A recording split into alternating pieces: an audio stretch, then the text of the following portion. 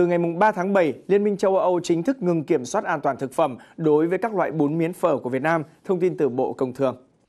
Như vậy, các lô hàng bún miến phở xuất khẩu sang EU không cần bổ sung giấy chứng nhận an toàn thực phẩm do Bộ Công Thương cấp và cũng không bị kiểm soát tại cửa khẩu EU. Nhóm mì ăn liền chứa gia vị và nước sốt vẫn cần giấy chứng nhận này. EU vẫn duy trì kiểm tra về thanh long do còn nguy cơ cao về an toàn thực phẩm và tần suất các lô hàng bị cảnh báo chưa có nhiều tiến bộ. Các nhóm rau gia vị tiếp tục duy trì tần suất kiểm tra tại biên giới EU là 50%.